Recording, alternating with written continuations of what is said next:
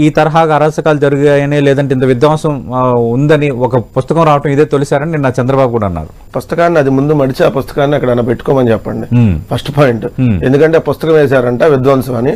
అసలు విధ్వంసం అంటే ఏంటి సార్ మూడు పంటలు పండేటటువంటి పచ్చటి పొలాలని ఒక దుర్మార్గమైనటువంటి వ్యక్తి ఒక ముఖ్యమంత్రిగా ఉండి తన రాజకీయ స్వార్థం కోసం తన ఏదైతే రియల్ ఎస్టేట్ వ్యాపారం కోసం ముప్పై మూడు వేల ఎకరాలు మూడు పంటలు పండేటటువంటి భూముల్ని లాక్కొని ఒకవేళ ఎవరైనా భూములు ఇవ్వనంటే వాళ్ళని బెదిరించో లేదంటే ఆ పొలాలని తగలబెట్టం అది కదా విధ్వంసం. ఆ పుస్తకంలో పై పేజీలో అది వేయాలి కదా పొలాలను తగలబెట్టినవి మూడు పంటలు పండే భూములు ఎట్లుండేవి ఆ మూడు పంటలు పండేటప్పుడు ఉన్న ఇది పొలాలు ఎలా ఉన్నాయి? అది పైన ఫోటో వేసి నాడు అలా ఉండేది. నేడు ఈ పొలాలు ఉండే భూమిని ఏ విధంగా తయారు చేసాం బీడు భూములుగా. అది కదా వేయాల్సింది అది కదా విధ్వంసం. రెండో అంశం వచ్చేటప్పుడు ఆ రోజు మీరు ప్రకటన చేసింది విజయవాడ కేంద్రంగా రాజధాని. జగన్మోహన్ రెడ్డి గారు ఒప్పుకుంది విజయవాడ కేంద్రంగా రాజధానికి ఒప్పుకున్నారు. కానీ మీరు సెప్టెంబర్లో చెప్పింది విజయవాడ కేంద్రంగా రాజధాని. అది మూడు నెలల తర్వాత పరిగెత్తుకుంటూ ఇరవై తొమ్మిది గ్రామాల రాజధానికి వెళ్ళింది. అంటే విజయవాడ నుంచి ఇరవై తొమ్మిది గ్రామాలకు వెళ్ళింది. అంటే హైదరాబాద్ రాజధాని అనుకుంటే వికారాబాద్కి ఎంత దూరం ఉందో ఎంత. తేడా ఉందో. కొత్త నగరాన్ని కడతా ఉన్నప్పుడు మేము వ్యతిరేకించి అమరావతి శంకుస్థాపనకు కూడా రాలా. రెండో పాయింట్ వచ్చేటప్పటికి ఎవరు నాశనం చేశారు? ఉంటేనే కదా నాశనం చేయడానికి ఇప్పుడు ప్రజావేదిక అంటే అది అక్రమ కట్టడం ఖచ్చితంగా కోల్చాల్సిందే. ఇదే మీరు నోయిడాలో ఇదే అక్రమ కట్టడం ఏదైతే ఆ భవనం కూల్చమని చెప్పి కోర్టు తీర్పిస్తే.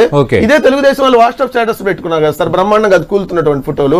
మరి ఇక్కడ ఇక్కడ అక్రమ కట్టడాన్ని కూలుస్తుంటే ఇదేదో విధ్వంసం అని మాట్లాడితే అలా రెండోది రాష్ట్రాన్ని మడత పెట్టారంటున్నారు. ఎవరు సార్ మడత పెట్టింది? మీ ఈనాడు దినపత్రికలు రాశారు. జగన్మోహన్ రెడ్డి గారు ప్రమాణ స్వీకారం చేసే ముందు రోజు ఆంధ్రప్రదేశ్ రాష్ట్ర ఖజానాలో వంద కోట్ల డబ్బులు మాత్రమే ఉన్నాయి. లక్షల కోట్ల రూపాయల అప్పులు ఉన్నాయి. తెల్లారితే శాలరీలు ఇవ్వాలి. ఈ రాష్ట్రానికి అప్పులు కూడా పుట్టవని చెప్పి సాక్షాత్తు మీ మాజీ మంత్రిగా చేసిన యనమల రామకృష్ణుడు మాట్లాడిన స్టేట్మెంట్. అంటే మీ రాష్ట్రాన్ని పూర్తిగా మడతెట్టేసి వెళ్ళిపోయారు. రాష్ట్ర ఖజానాన్ని దోచేసుకొని. తీసుకొని వెళ్ళి హైదరాబాద్లో విలాసవంతమైనటువంటి భవనాలు కట్టుకోవటం ఉన్నటువంటి ఖజానాన్ని దుబారా ఖర్చు పెట్టడం ఇవన్నీ చేసి మీరు వెళ్ళిపోతే దాన్ని గాడిలో పెట్టి జిఎస్డిపి వృద్ధి రేటు పెరిగితే రాష్ట్రం విధ్వంసం అయినట్ట పారిశ్రామిక వృద్ధి రేటు పెరిగితే రాష్ట్రం విధ్వంసం అయినట్ట నాలుగు పోర్టులు కడుతుంటే రాష్ట్రం విధ్వంసం అయినట్ట. ఏదైతే పది ఫిషింగ్ హార్బర్లు కడుతుంటే రాష్ట్రం విధ్వంసం అయినట్ట.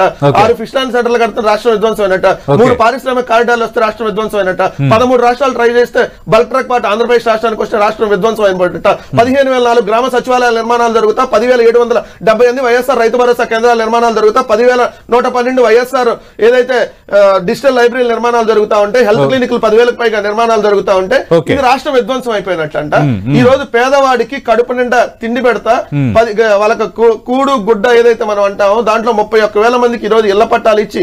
ఏదైతే ఇల్లు నిర్మిస్తా ఉంటే రాష్ట్రం విధ్వంసం అయిపోయిందంట. ఏదైతే మీరు స్కూళ్ళని నాశనం చేసేస్తే ఈ రోజు పదిహేడు వేల కోట్ల రూపాయలు ఖర్చు పెట్టి నాడు నేడులో భాగంగా యాభై ఆరు వేల స్కూల్స్ని డెవలప్ చేస్తా ఉంటే. ఇది విధ్వంసం సృష్టించినట్టంట.